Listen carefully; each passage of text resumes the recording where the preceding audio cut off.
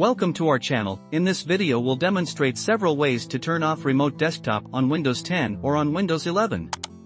There are just several simple steps to disable RDP.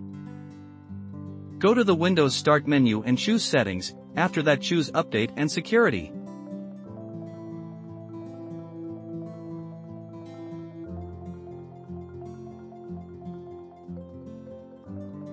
Click For Developers, scroll down to the Remote Desktop.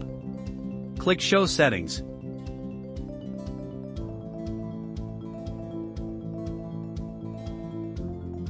Select Don't allow remote connection to the computer. That's it. Quick and simple.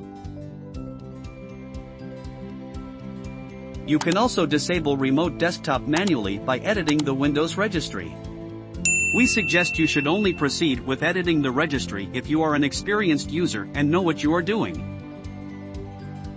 Open the Windows Run app and type regedit to launch the registry editing tool. After that navigate to HKey local machine, go to system, after that click current control set.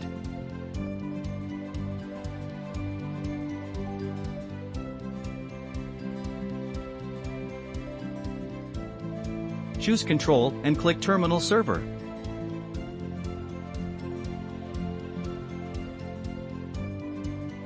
Change the data value from 0 to 1 and click OK.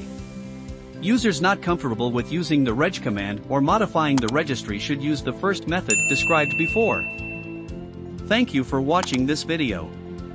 More useful tips you'll find in our blog.